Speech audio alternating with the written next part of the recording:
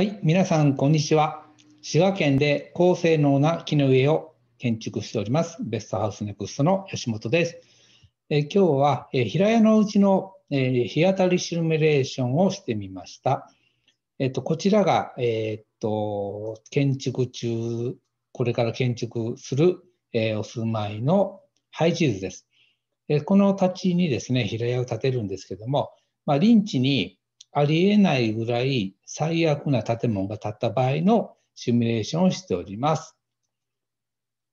はい、えー、これがですね、冬、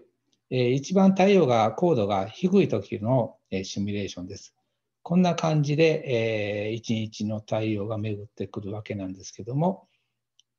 いかがでしょうか？よいしょ。えっ、と、そうですね、2時、えー、11時過ぎぐらいから、えー、8、9、10、10時、1時ぐらいからちょっとこの辺がかけてきてしまうんですけども、えー、見ていただいた通り、多分こんな家は畳んでやろうというぐらい、えっ、と、大きな巨大な建物で風やな、えー、流れにしております。えー、こちらのリンチの方もですね、こんな巨大な建物にしております。まあ、最悪、こういう建物が建ったということでやってるんですけど、まあ、こんなお家は建たないかなと思いながらやっておりますが、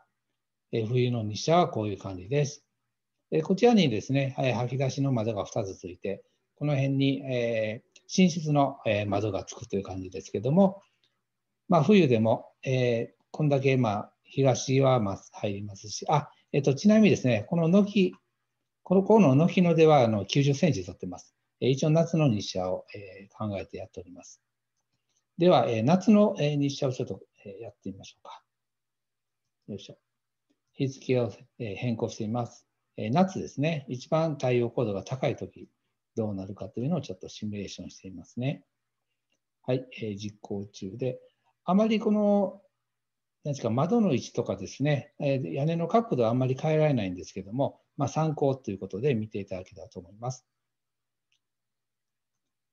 はい、えー、夏一番こう太陽が高い時ほぼ真上からこう太陽がかかっていくようなんですが、えー、朝、えー、っと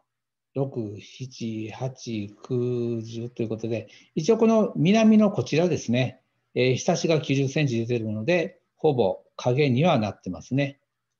うん、いい感じで、えー、日射は遮蔽できてます。まあ、東の方はどうしてもあの太陽が当たるんで、まあ、外で日射遮蔽するか、まあ、日差しをつけてもちょっとこれではあのあまり、えー、防げないかなというぐらい斜めから朝は入ってきてたんですんでね、その辺はちょっと、えー、物理的なもので防いでいったらどうかなと思います。はい、えー、今回のお話は以上でした。またこういうシミュレーションもね、いろいろやってるんで、えー、よかったら、あの、うちもしてほしいということであればご連絡いただければと思います。はい、では失礼いたします。